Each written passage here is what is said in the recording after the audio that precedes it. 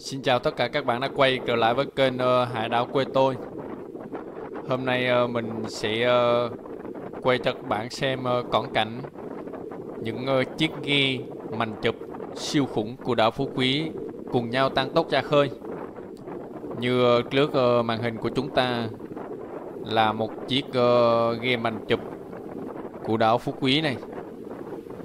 Các uh, thuyền viên đang ở trước mũi ghe để mà uh, nhổ neo ra khơi nè các bạn.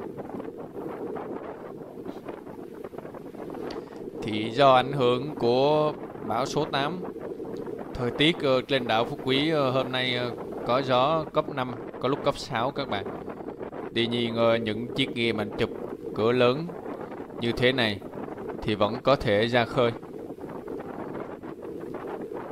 Đó chiếc neo uh, đã được uh, các ngư dân từ từ kéo lên nè các bạn. Đến ờ, uh, 7 đến 8 ngư dân đang ở trước ờ, uh, mũi ghe anh chụp này. Theo đài báo thì sóng lượng khoảng uh, 1 mét rưỡi đến 2 mét các bạn.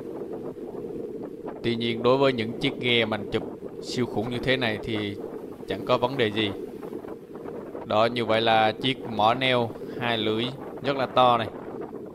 Đã được uh, các uh, ngư dân kéo lên lên ghe này. Và chiếc ghe mảnh chụp bắt đầu ờ, uh, phồ máy tăng tốc ra khơi.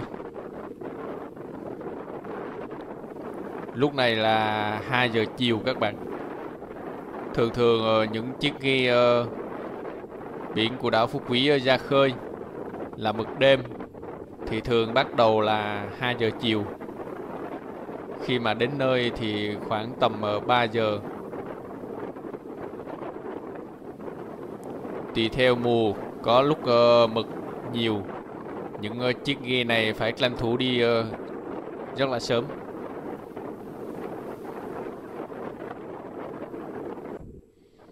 Đây như vậy là chiếc uh, ghe màn chụp đã bắt đầu tăng tốc ra khơi rồi các bạn. Cùng đó là có một chiếc uh, game anh chụp tàu vỏ thép khác cũng đang ra khơi. Đều là những uh, ghe của đảo Phú Quý các bạn.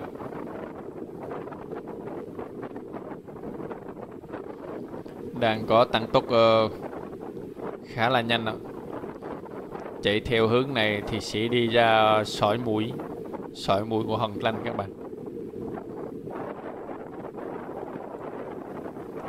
Đây còn đây là chiếc uh, game anh chụp vỏ thép của đảo Phú Quý này. Cũng rất là to luôn. Cũng đang uh, cùng nhau ra khơi với chiếc uh, game anh chụp vỏ gỗ lúc nãy.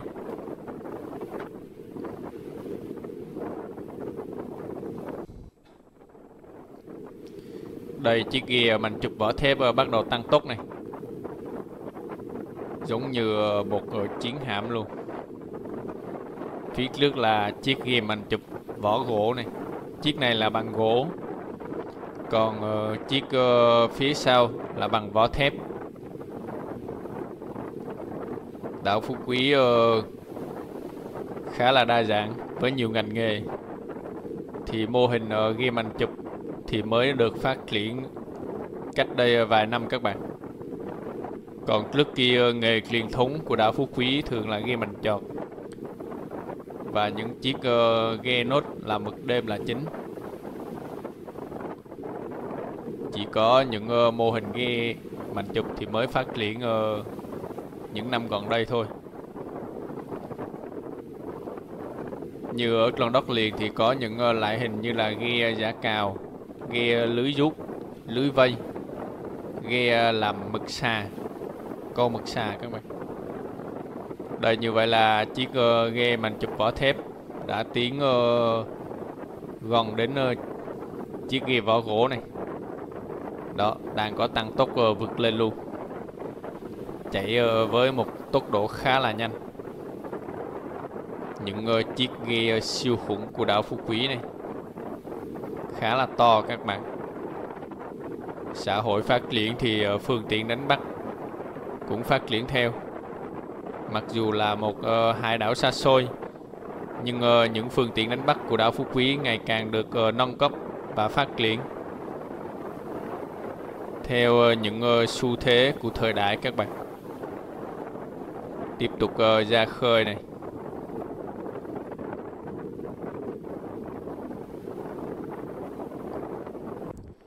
Đây uh, còn ở phía bên trong cũng uh, có một chiếc uh, game mành chụp cũng đang uh, tăng tốc ra khơi này. Chiếc này là của đảo Phú Quý luôn các bạn. Đang tăng tốc uh, khá là nhanh ạ.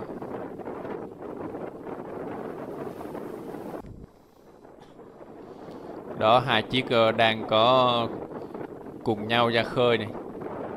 Ở dưới là có một chiếc uh, ghe chiếc uh, ờ, ghe nốt hôm nay cũng uh, ra khơi luôn.